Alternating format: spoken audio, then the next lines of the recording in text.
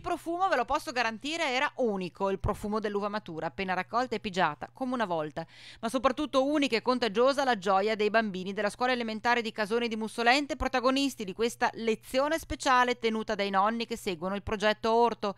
In mattinata gli alunni della Manzoni hanno vendemmiato, raccolti grappoli d'uva dalla vite che cresce nel giardino dell'istituto. Nel pomeriggio il divertimento vero, la pigiatura degli acini dopo essersi ben lavati i piedi, come una volta. Bello, bellissimo la parola più usata. Ma com'è pigiare l'uva? Eh, è bello! È la prima volta, l'avevi mai fatto? L'avevi mai fatto? No! Te, lo- te l'hanno raccontato i nonni, vero? Ti stai divertendo? Sì. Bello! Ma ti immaginavi una cosa così? È divertente? Sì. Bene, schiacciare l'uva, mi piace. È una cosa bella? Sì. È un'esperienza che non hanno mai avuto. Penso che sia la prima volta nelle scuole che succede questo. Com'è che vi è venuta quest'idea?